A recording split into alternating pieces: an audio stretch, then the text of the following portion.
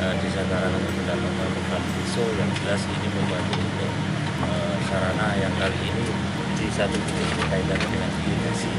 Irigasi di Alhamdulillah bisa berjalan yang punya jalannya itu bisa meluber ke eh, pengairan yang meluber ke jalan sekarang bisa eh, irigasinya bisa jelas tanggapan kami di masyarakat desa Karangan eh, jelas luar biasa ini masuk di desa satu ini lagi untuk sarana di wisata lingkungan ini masih dalam tahap proses berjalan pembangunan. Terima kasih kami ucapkan kasih saya pemerintah di Sakarangan dan masyarakat di Sakarangan kepada eh, Dewan DPR RI Haja Sri Wahyuni eh, ini sangat membantu untuk di berkaitan dengan pembangunan. ya sebagai wakil masyarakat khususnya di desa Karangan di Dukun Hilem eh, terima kasih atas bantuan dari DPRD Pusat POM yang telah eh, fasilitasi sehingga Tuhan kami mendapatkan saluran drainase sehingga sekarang untuk pengairan di jalan lingkungan kami lancar dan saya ucapkan terima kasih kepada Bu Ipong. Bu Ipong, sukses!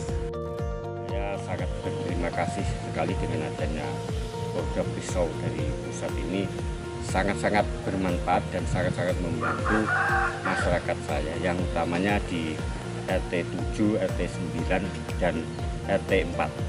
Ini karena kemarin itu belum ada eh, talut jalannya itu jalannya kan juga rusak. Dan akhirnya dengan dibangunnya eh, talut ini sangat-sangat bermanfaat dan memperlancar perjalanan juga perekonomian masyarakat desa Watu. Dan ini besar harapan kami dari pemerintah desa untuk mohon dari Bapak Bupati juga dari Sri Wahyuni selaku DPR pusat untuk memprioritaskan Watu Bunang untuk tahun berikutnya mendapat bantuan kembali. Karena dengan luasnya wilayah di Desa Watu Bunang dan banyaknya penduduk di Desa ini besar harapan kami masih banyak jalan yang perlu diperbaiki dan akses jalan yang masih rusak. Dan ini mohon untuk bantuannya kepada utamanya DPR pusat Ibu Hajah Sri Wahyuni untuk memprioritaskan Desa Watu Bunang. Semoga Bu Sri Wahyuni tetap sukses dan kami siap mensukseskan untuk Bu Sri Wahyuni. Saya atas nama pemerintah kecamatan dalam hal ini Kecamatan Badekan mengucapkan terima kasih kepada Ibu Hajah Sri Wahyuni yang sudah memberikan program pisau ini ke wilayah Kecamatan Badekan ya, yang bertempat di Desa Watu Bonang dan Desa Karangan.